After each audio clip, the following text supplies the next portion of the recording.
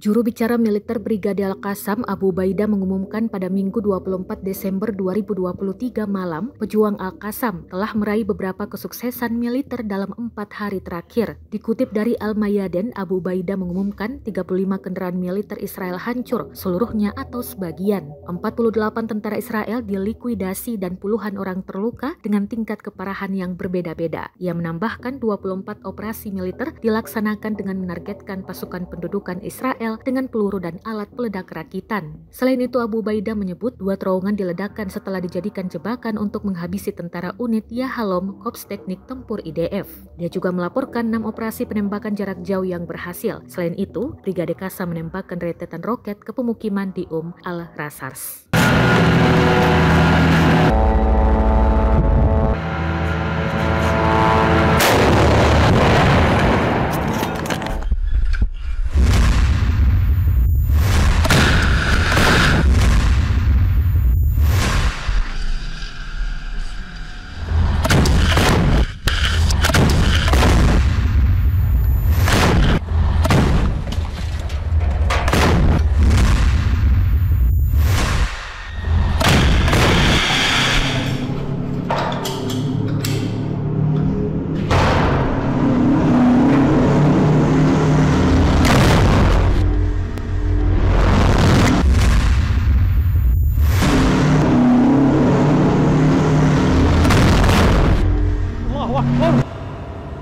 اضرب توكل على الله.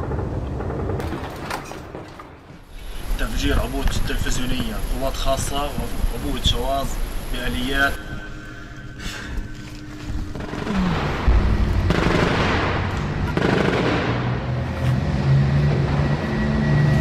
بسم الله.